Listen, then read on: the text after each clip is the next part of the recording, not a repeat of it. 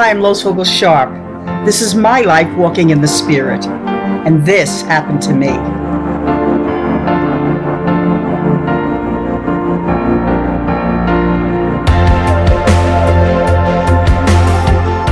These are true stories of miracles, answered prayers, signs, wonders, and deliverances from demonic entities that I have actually witnessed in the past 50 years of my walking in the kingdom of the Almighty God using the name of Jesus, Yeshua.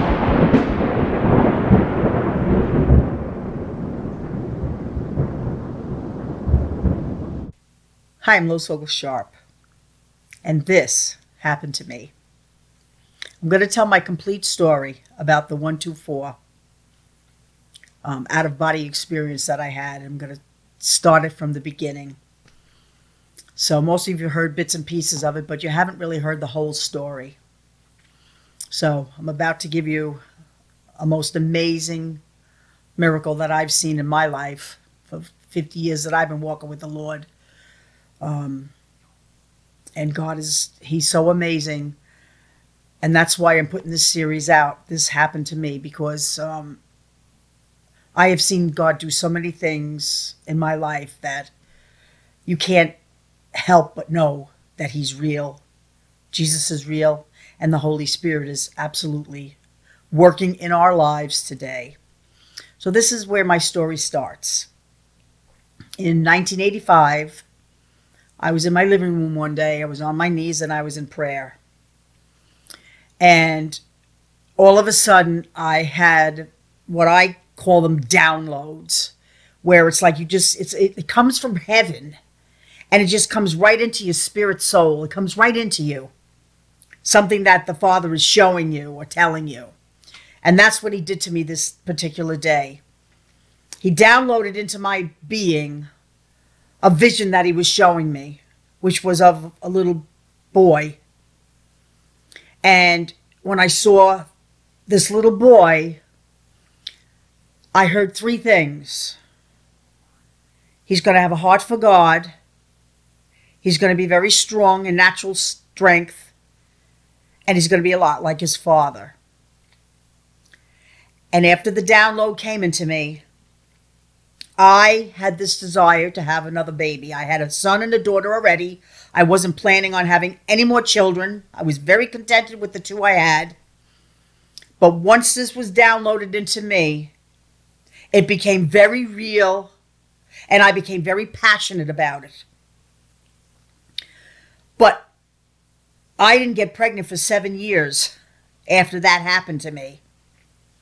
So during the seven year time frame, I'm going to share some things that happened. I was very excited about it. I had been given a prophetic word from somebody in the church telling me I was going to have another baby. And I when they said it to me, I was like, "No, no, no, no, thank you. I'm good to go." But I heard what they said, and I always left it up to God whatever his will was. So now I get this knowing that I'm having this son. It's going to be a boy, he tells me. So my life went that that direction, just believing the Father. So I used to go to little garage sales. We really had no money at the time. And I used to go to garage sales and look for little baby clothes. And I was already preparing for this pregnancy that I wasn't even pregnant yet. That's how strong I believe this. So I was buying little things here and there. I was buying nice things, you know. And um, I, I bought, I, I had gotten a little um, wood carving thing saying Jesus. I was going to put it in my son's room when he was born. So I was collecting little things. And of course, months went by and I didn't get pregnant. And then years went by and I didn't get pregnant. And one particular year, I thought I was pregnant. I went and I got the test that you could buy in the store. I came home and I took the test and it showed I was pregnant. Well, the prophetic word from the Father has come to pass. I was so excited about this. I told my husband. He was so excited. We told everybody we were going to have a baby, and this was like really exciting. This prophetic word that I had gotten from the Father was now happening in my life. So I just walked around being very joyful about the fact that I was now pregnant with this baby. So about a week and a half went by, and all of a sudden, I started bleeding. And I was like, whoa, what's the deal with this? Now I'm getting upset in my spirit because that can't happen if I'm pregnant. Remember, I took the test and showed I was pregnant. So, with that, I'm getting very emotionally disturbed about this whole thing because this doesn't make sense. I'm rebuking it in the name of Jesus and I'm getting very upset. So, I noticed that, yeah, I'm, uh, it doesn't look like I'm pregnant or I just lost the baby. So, that in itself was devastating. I felt like I was in the middle of having a miscarriage. And of course, I tell my husband that he's devastated about it. Now, we told everybody we were having this baby. So now we have to tell everybody, well, guess what? We're not having a baby. Something went wrong here. So I was determined to find out whether I had really gotten pregnant. Was the test a false positive? I needed to know because I, I, I knew that God had told me I was going to have this baby. So why would I have a get pregnant and then have a miscarriage? It doesn't even make sense. So I went and I had blood work done to find out if I was really pregnant or not.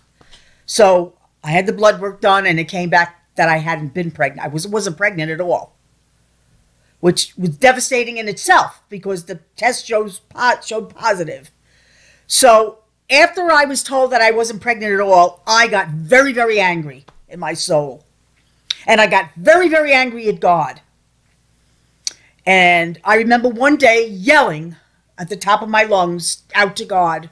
Is this some kind of a cruel joke? I said, with tears streaming down my face. What is going on here? Somebody's playing games with me.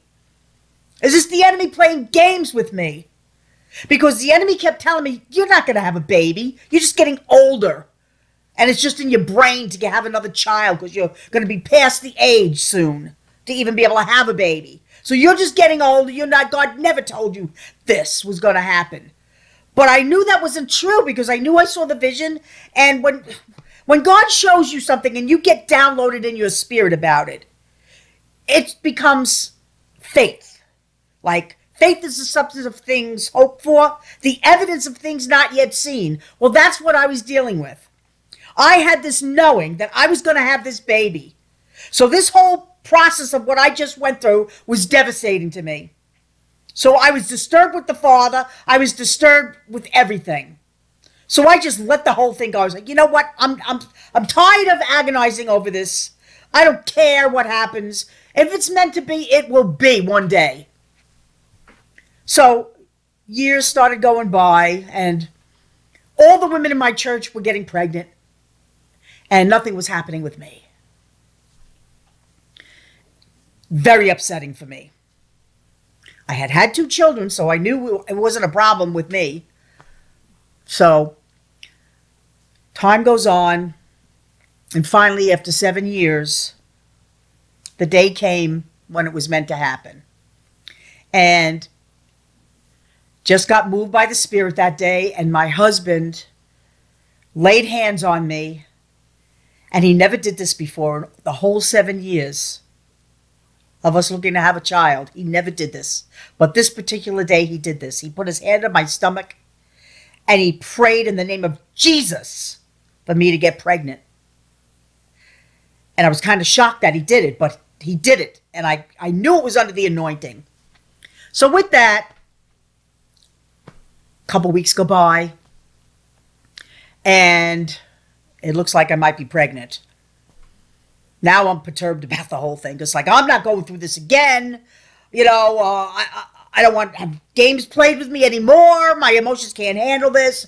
So I'm all disturbed now. And my daughter walks up to me out of nowhere and says to me, Mommy, your eyes are glowing. And when she said that to me, I got a little bit perturbed about it. I was like, yeah, okay, here we go. What's going on here? What's the deal here? So I said, well, I'm going to have it done professionally this time to see if I'm pregnant because I'm not going through that again with a false positive. So I went down to the doctor's office and I said, I might be pregnant. Could I please have a test done? So they did the blood work, they did the test done, they did it. I didn't even tell my husband because I didn't want to disappoint him, I didn't want to get him upset. The only one that knew was my daughter. So I came home, I didn't say a word. A couple hours go by and the phone rings and it's the doctor's office. And she's like, Your test is positive. I'm like, My test is positive? That means I'm pregnant, right? I said. She goes, You're absolutely pregnant. And with that, I got so excited. I just ran through the house. I'm pregnant. I'm pregnant. I'm pregnant. God told me I was going to have a baby. He absolutely said this was going to happen. I'm absolutely pregnant. And of course, my husband got very upset about the whole thing, thinking, oh no, what if she loses this baby? He went into a fear mode about the whole thing, which kind of perturbed me at the time, but that was where he was at. So I just ignored him. And I was like overwhelmed that I had heard from the Spirit of God. I waited seven years, not knowing at the time why I waited seven years. My son had to be a millennial, which I didn't know back then. But to make a long story short, I am now in heaven. I'm so excited about this baby. My pregnancy went great. Everything was great. I was walking up the hills. I felt great. I mean, I, the typical uh, first three months, I felt a little bit nauseous, nothing, but but it was nothing major. I was just so overwhelmed with the fact that I was pregnant that I could I could handle any of that. So the nine months go by, and I wake up one morning and I get this shooting pain, like jabs me down there. And I get up and my water breaks. So now we're on our way to the hospital. So we go all the way to the hospital, and they said to me, Well, you're not even dilated yet, but since your water broke, we need to keep you here because you can get an infection. Once the water breaks, you know, any germs can get in there and cause a problem. So they admitted me into the hospital. So now I'm in the hospital and I'm not even dilated yet. I'm not even in real labor yet. So I was there for three days, listening to all the women having their babies, moaning, screaming, crying, getting more and more emotionally upset listening to all the suffering that they were going through. So by the time I went into real labor, I was already like blown away and all very anxious and very like upset about the whole thing. So now I'm in real labor. So I'm going through the whole labor thing. And I get to the point where I feel I need to push the baby out.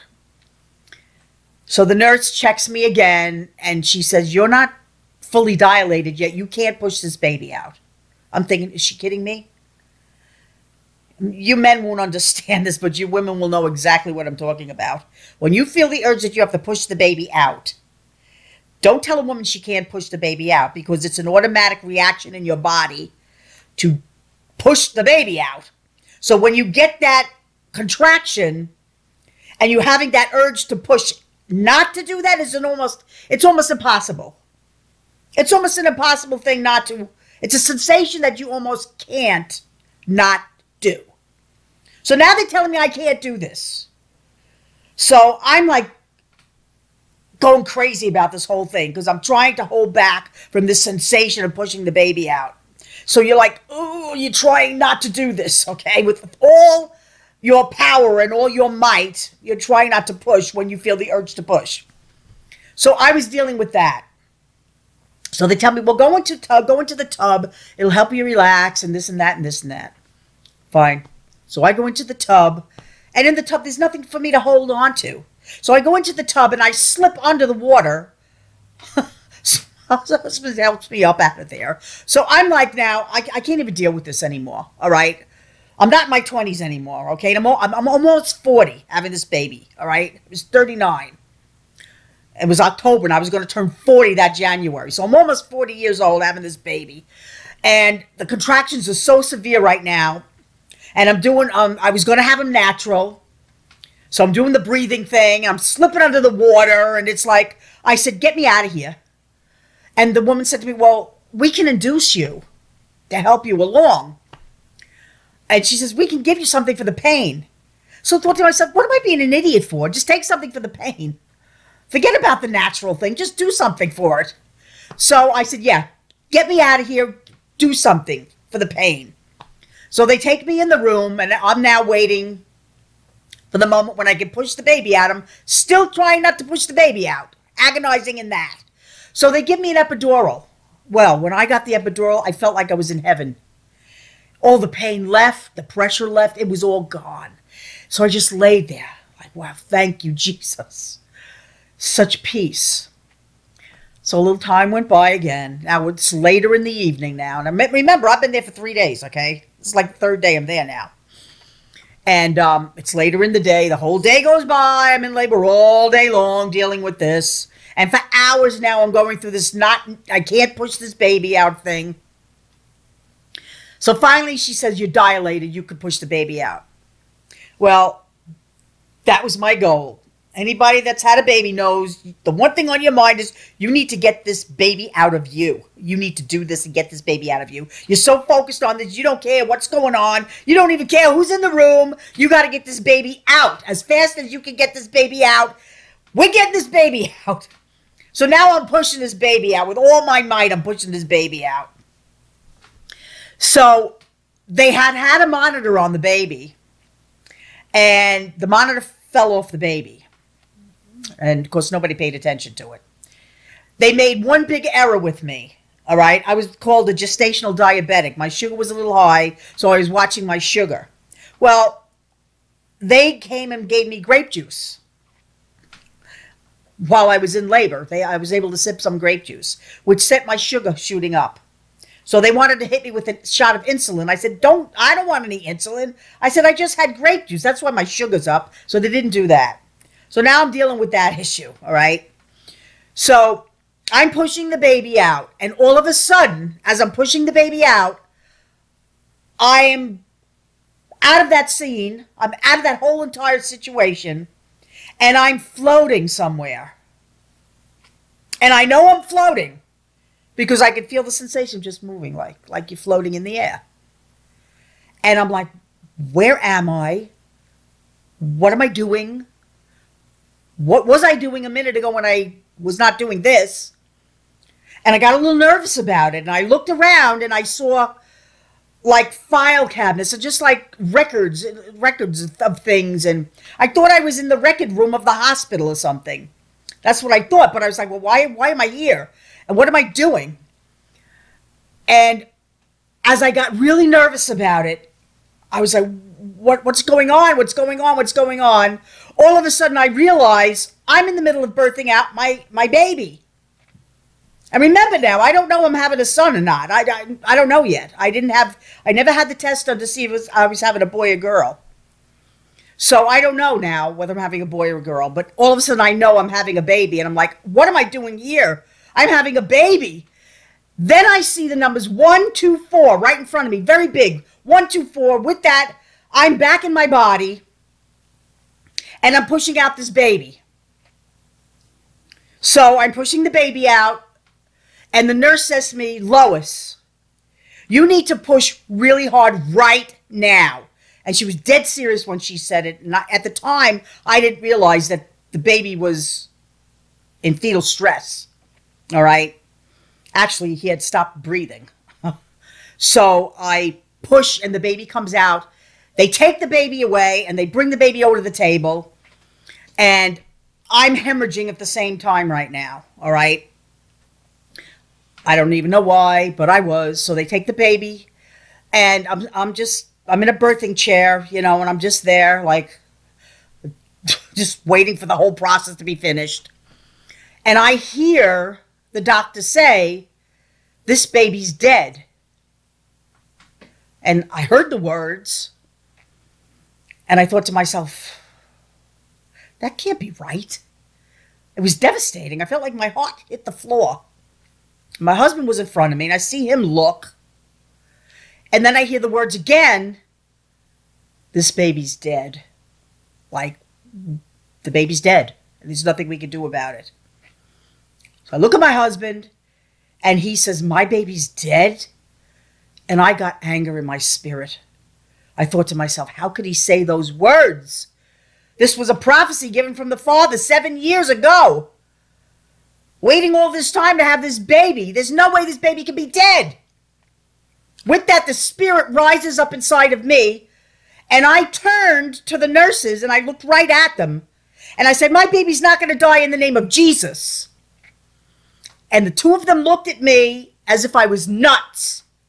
But when I said Jesus, now I didn't see this. My daughter, was standing across the room watching this whole thing take place, she told me later on that when I said Jesus, he took a breath and came back to life. No doctor brought him back to life. No pumping of the heart brought him back to life. They had said he was dead and they were done. But when I rebuked it and said, My baby's not going to die in the name of Jesus, he had already been dead. But he took a breath of life when I said, Jesus. And we were the talk of the hospital, the miracle of this baby coming back to life. And that's what happened that day. My son was born dead and came back to life because of the name of Jesus and because the Holy Spirit rose me up to rebuke death in Jesus' name. Because if I hadn't have done that, even though a prophecy was given to me, he would have died. He would have been dead, and he would have stayed dead. You can have a prophetic word given to you, and if you don't hold on to it and you don't stand and keep it into your heart and don't let Satan steal it from you, he will come to steal, to kill, and destroy. We have to stand fast on what God tells us. And I find out the 124, I think to myself, well, what does that actually mean? I was born January 4th. My late husband was born February 4th. And that day was October 4th. It was October 4th, 1992. And I was given the prophecy in 1985. That's a seven year span until I had the baby. And the 124, as time went on, I'm married to Gary now. Gary started doing some research on the number 124 and what it actually meant. To me, it meant a miracle. and God was showing our birthdays and the miracle that took place that day, the 444 of our birthdays. But it also means a going back to Eden, full circle coming back the end time frame that we're in, how we're going to rise up and walk with miracles and wonders, signs and wonders, and answered prayers and deliverances, which is what this is all about. And that's why I'm putting this series out. It happened to me. So the 124 time frame that I'm always talking about has to do with that. And I'll be back and tell you a couple more times when that number was very prominent and miracle took place after that number was seen. So I'll be back when he says be back again and have a blessed day.